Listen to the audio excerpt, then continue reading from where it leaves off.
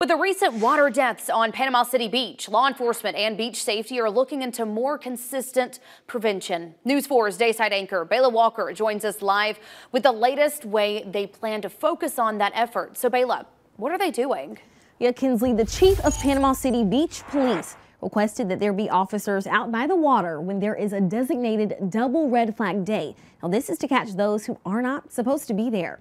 Now, those who do violate beach ordinances can be fined up to $500 without a warning. If found doing so a second time, they can face up to 60 days in jail with a misdemeanor charge. Daryl Paul, the director of Panama City Beach Safety, insisted they would prefer other solutions before having to fine or arrest beachgoers. The goal is to not treat the fines as any kind of revenue stream or anything like that. We want to try and gain compliance with the visitors and the citizens of Panama City Beach through reasoning and preventative actions.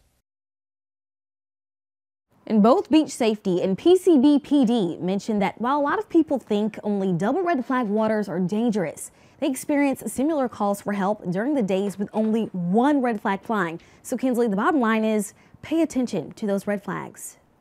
Very important note there. Bayla Walker, thank you.